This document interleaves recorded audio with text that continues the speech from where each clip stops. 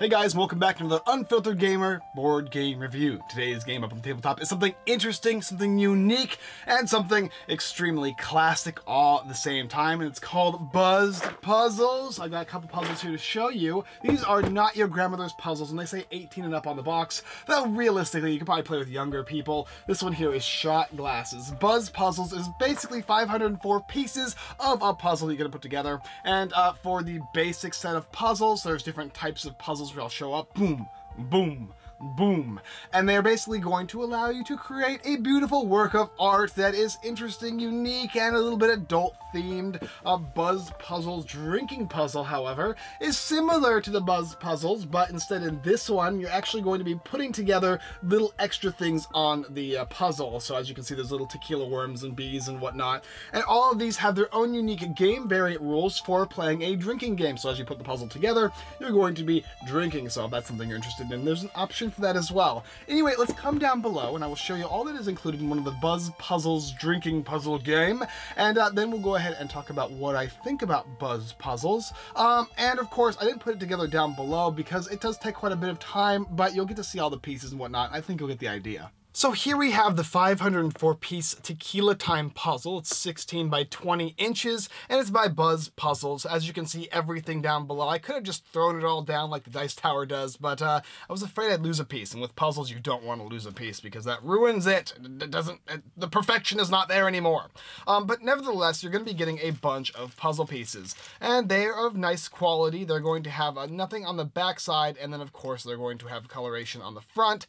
And what you're going to do with a puzzle puzzle is pretty simple. You're going to look for the side pieces and the bottom and top pieces, and you're going to try and put those all in an area. And then you're going to try and put all the colored pieces in an area, and then you're going to link them together. Now, of course, in a 504 piece puzzle, there's going to be quite more, quite many, more many pieces than a smaller puzzle. And they do have different variations of a longer gameplay or shorter gameplay.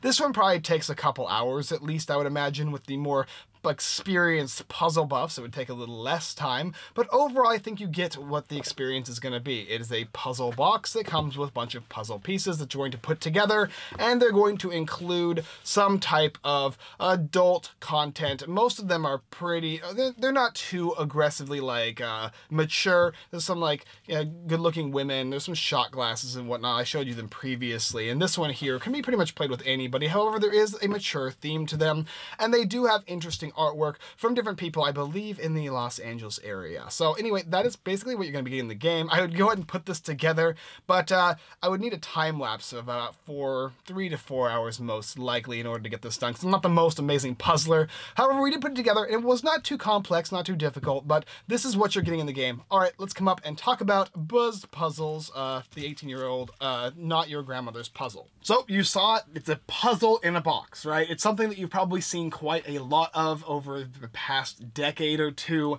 And I, most of the time when I think of a puzzle, I think of something that is uh, something my grandmother put together. In fact, the last time I actually picked up a puzzle was I went to a Goodwill. Grandma asked me to pick something up.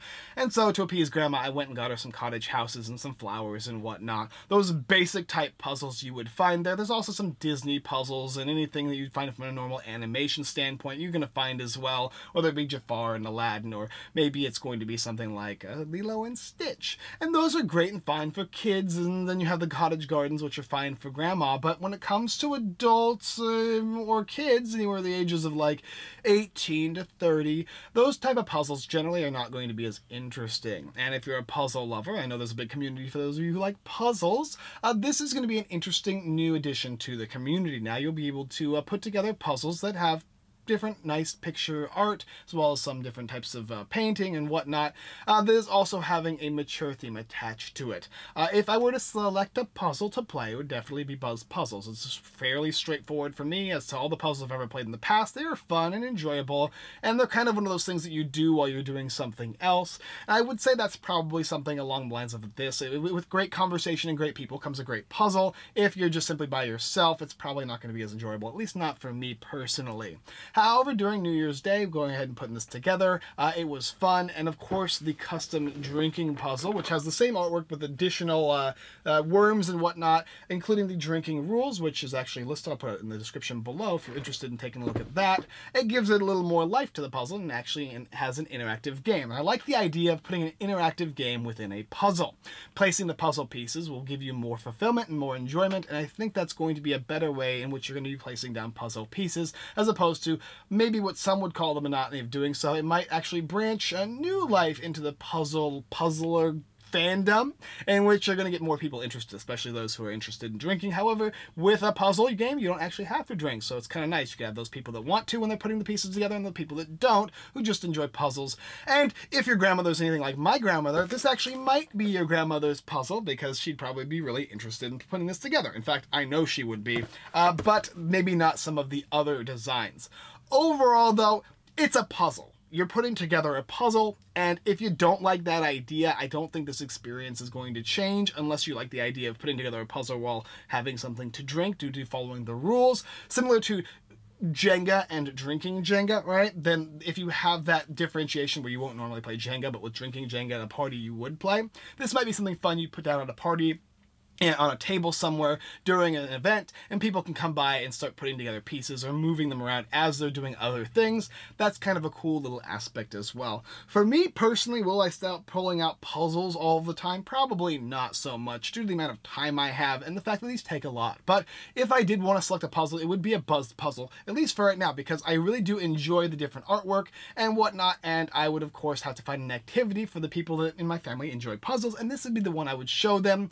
Uh, maybe maybe not some of the more uh, risque ones, but for grandma this would be a good one. And then specifically for my friends who are more into the chess type games and whatnot, the strategy and the placement and whatnot, these are great mind builders, I think, as well.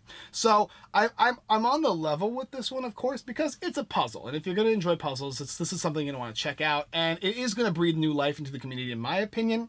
I will definitely be doing more of these puzzles now, especially as they come out. I'll probably, if I get a chance, I want to do a live play of putting together one. And hopefully what I'd like to do actually is have, like I was talking about before, like this four hour time lapse of the puzzle being put together and showing what it is like to put together a Buzzed puzzle and the final, I mean, that's the best part about a puzzle is putting it together and it's finally completed and you get to see it and you spray it so that you get to keep it and put it on the wall. This would be one I would actually keep on my wall as opposed to some other puzzles that I've seen at the stores.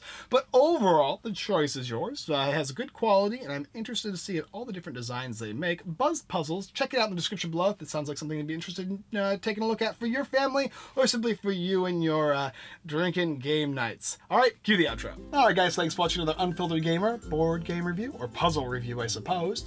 If you like this video, go check out those other videos here on YouTube, like, subscribe, and comment, as well as check out our website, unfilteredgamer.com. Tons of blog posts, giveaways, Kickstarter, some more. Uh, buzzed puzzles! I'm afraid to drop these on the floor! as well as checking out friends at BingBoardGames.com and the giveaway geek.